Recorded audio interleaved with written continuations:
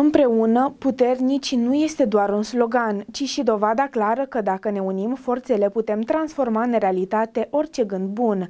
Este mesajul transmis de deputatul PSD Mehedinți Cornel Folescu, după ce astăzi a votat în Parlament legea plafonării pentru milioanele de români vulnerabili în fața creșterii prețurilor la energie și gaze. Camera Deputaților a adoptat astăzi, cu 285 de voturi pentru și un vot împotrivă, legea prin care prețurile la energie și gaze sunt plafonate. Proiectul a fost dezbătut în regim de urgență la solicitarea PSD și trebuie promulgat de președintele Claus Iohannis, astfel încât schema de ajutor de compensare să fie aprobată până la 1 noiembrie. Ținând cont acum și cu nenorocirile astea și pe capul nostru, nu mai avem, avem bani nici de mâncare, da, să mai cumpărăm și curentul ăsta. Am auzit că s-a plafonat un leu la kilowatt.